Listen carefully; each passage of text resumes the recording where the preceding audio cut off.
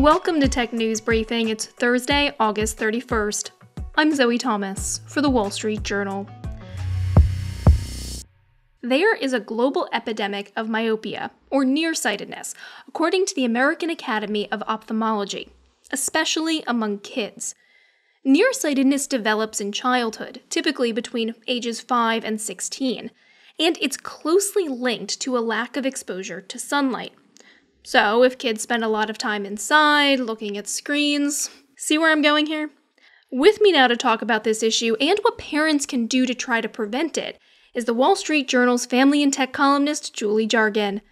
Julie, I don't want to just throw words like epidemic around lightly. How bad is this situation? Well, right now, about 30% of the world population has myopia, and it's expected to increase to half the population by 2050, according to the World Health Organization. For young people where this is typically developing, what is the cause of all of this? So, uh, there have been a few big studies that have shown a really strong link between the amount of time children spend outside in natural light and the development of myopia. And the reason is there's something in sunlight that helps control the growth of your eyeball. And when kids are not exposed to enough outdoor light, their eyeballs tend to grow much larger. You can't see it from looking at a person, but they become elongated. And that has an impact on how well the eye can focus on things in the distance, so things in the distance appear blurry. How much time are kids spending outside according to these studies? It's hard to get a really good handle on that. There was a study in 2015 from the University of Michigan that looked at the amount of time kids spend outside in unstructured playtime. That doesn't account for things like recess at school or time outside at a child care center or kids playing outdoor sports. But just the amount of time that kids spend in free play outside at that time was just seven minutes a day.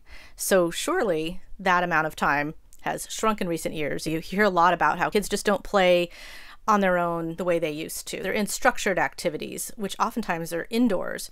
And when they do have downtime, as a lot of parents have observed and others have told me they choose to be on their screens as a way to decompress and relax from all the structured activities they're doing all day long. I mean, it almost seems crazy to ask this given the cause, but is there technology that can help in this situation?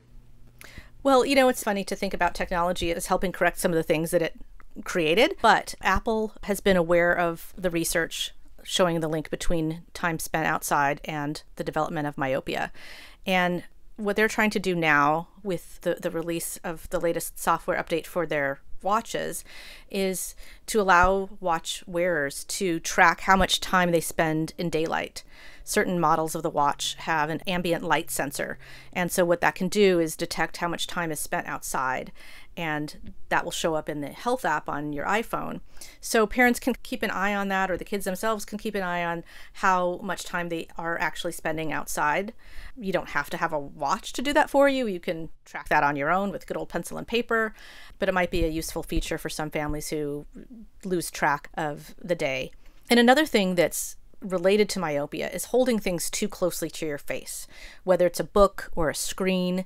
Holding things farther away and focusing on objects in the distance can help reduce the progression of myopia.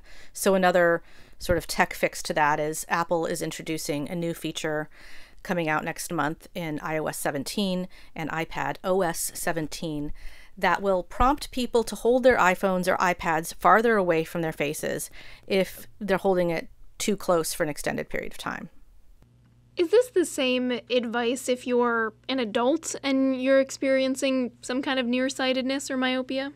Well, I mean, unfortunately, by the time you're an adult, your eyes have probably stopped growing and if you already have developed myopia you have it but definitely our eyes tire out our eyes can get dry so these are definitely things that you know might make you feel better but it's pretty much in early childhood where you can make the most impact by making some changes to your habits. And I guess it's important to note looking at screens is not the only cause of myopia, correct? There's a genetic basis for this, so it does tend to run in families.